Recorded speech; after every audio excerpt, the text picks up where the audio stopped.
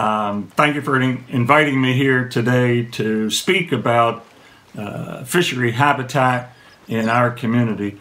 Billions and billions of dollars being spent to create new hotel rooms and condominiums, apartments, and seawalls to protect the investments of these properties. And so the habitat for the human has uh, been excellent, but the habitat for the sea creatures has been woefully disregarded. And not much is spent to help them and a lot of the water that goes into these new developments ends up flooding into our bay creating silt and, and sediment.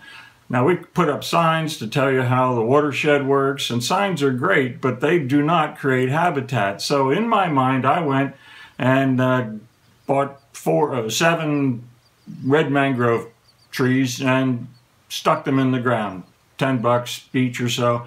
And I just put them out there. And but red mangrove trees grow, and now it blocks your view. And uh, nobody who's got that kind of investment wants their view blocked of the bay. So, new law in October 2016, a certified mangrove trimmer can come in and cut windows into the mangrove. They can cut hedges into the mangroves as long as it's six feet above the substrate to the top of the mangrove, and the food will still be there.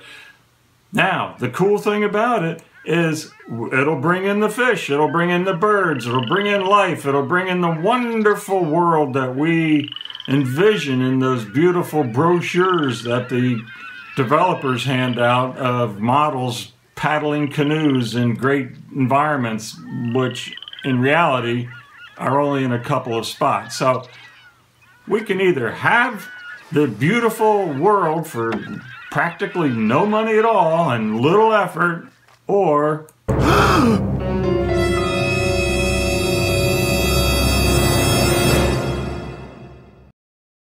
This report is brought to you in part by AFTA, the Association of Florida Teaching Artists.